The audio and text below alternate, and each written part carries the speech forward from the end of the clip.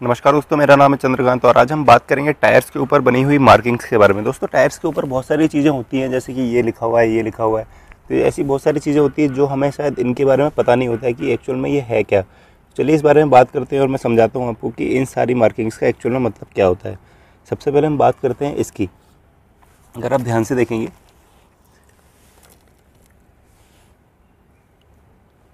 तो ये जो आप देख रहे हैं, यहाँ पर लिखा है two zero five slash fifty R seventeen. तो इसका मतलब ये है कि ये जो टू ज़ीरो फाइव है, ये आपकी टायर की प्रोफ़ाइल से रिलेटेड है।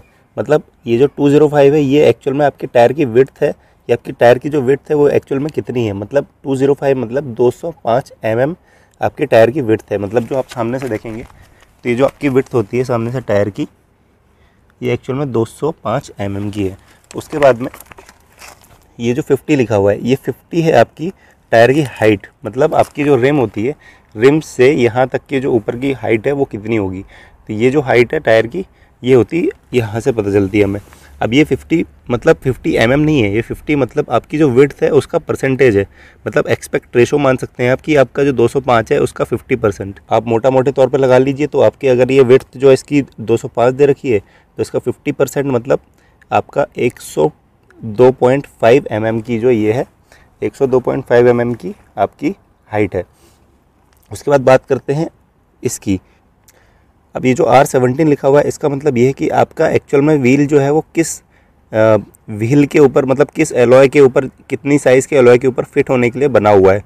तो आर सेवनटीन का मतलब ये है कि रेडियस सेवनटीन तो एक्चुअल में ये टायर का नहीं एक्चुअल में आपकी जो रिम देख रहे हैं आप, इसकी साइज़ है। मतलब ये सेवनटीन इंच का जो टायर है आपका यहाँ से लेके यहाँ तक का पूरा ये एक्चुअल में इसका बताया हुआ है कि ये जो 17 इंच का टायर है, इसके ऊपर में ये फिट होगा।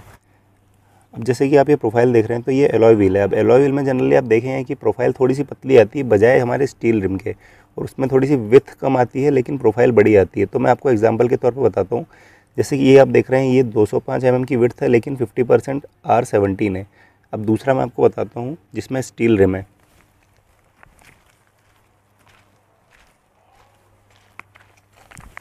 ये देखिए, अब ये एलॉय व्हील नहीं है, ये स्टील रिम है, लेकिन इसमें विड्थ लगभग बराबर है। देखिए, अब 205 सौ mm की ही विड्थ है, लेकिन आपको इसमें, क्योंकि व्हील साइज़ छोटा कर दिया गया है मतलब आर सिक्सटीन कर दिया गया है तो इसकी जो प्रोफ़ाइल है, वो लगभग एक इंच से बढ़ गई है, लगभग 65 परसेंट हो गई है, जहाँ पर उसमें 50 परसेंट था।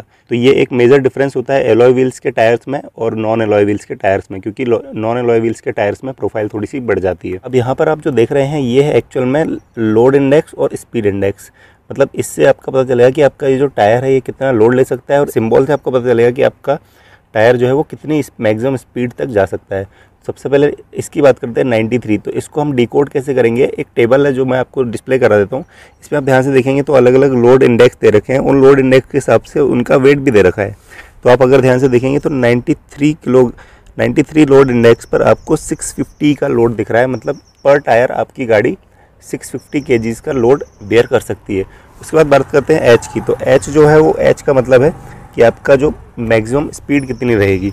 तो मैक्सिमम स्पीड आपका जो आप इस वाली टेबल में देख सकते हैं तो एच वाले इसमें अगर आप स्पीड सिंबल को डी करेंगे तो माइल्स पर आर में आप देखेंगे तो 131 और अगर किलोमीटर पर आर में देखेंगे तो लगभग 210 किलोमीटर पर आर की स्पीड आप इस वाले टायर से अचीव कर सकते हैं और इससे कोई भी दिक्कत नहीं आएगी।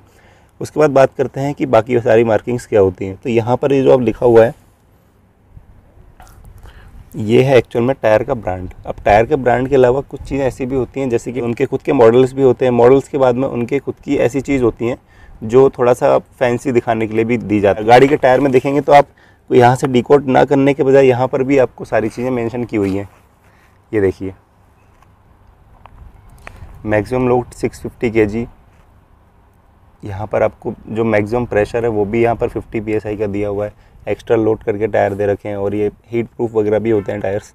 उसके अलावा और जगह होती है, यहाँ पर आपको इस तरीके से ये चीज़ लिखी होती है। इसमें एक मैन्युफैक्चरिंग लिखा होता है कि आपका मैन्युफैक्चरिंग किस कंट्री से है। उसके बाद में देखेंगे तो आपको अगर मैन्युफैक्चरिंग डेट पता करनी है तो डेट पता करने के लिए आप ये देख रहे हैं dot W nine H four D double K thirteen eighteen ये जो लिखा हुआ है, इसको आप अगर डिकोड करना चाहें तो इसका सीधा सीधा आपको ध्यान देना है इन आखिरी वर्ड्स पर। इसमें आप देखेंगे थर्टीन और एटीन तो इसका सीधा सीधा मतलब यह है कि थर्टीन वीक ऑफ़ 2018 मतलब आपके मार्च के फ़र्स्ट वीक में 2018 में ये टायर बिल्ड हुआ था। मतलब इस टायर की मैन्युफैक्चरिंग तब की है। तो यहाँ से आप इसके टायर की मैन्युफैक्चरिंग डेट का भी पता लगा सकते हैं। उसके अलावा और भी बहुत सारी चीज़ें होती हैं जो कि हमारे काम की नहीं होती हैं, लेकिन बेसिक चीज़ें जो हैं वो यही होती हैं और इनसे आप पता लगा सकते हैं कि आपका टायर जो है वो किस साइज़ का है, क्या आपकी टायर की स्पीड रेटिंग और बाकी चीज़ों के बारे में पता लगा सकते हैं। तो दोस्तों, बस यही है इस वीडियो में। अगर वीडियो पसंद आ गया तो लाइक कर दीजिए सब्सक्राइब कर दीजिए चैनल को, क्योंकि मैं रोज़ ऐसी ही इन्फॉर्मेटिव वीडियोज़ लेके आते हैं